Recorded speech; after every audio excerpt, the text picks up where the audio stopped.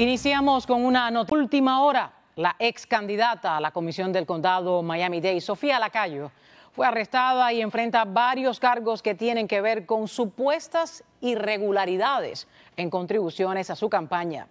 A Lacayo se le impuso una fianza de 14.500 dólares. Estamos siguiendo esta noticia y les traeremos cualquier nuevo detalle.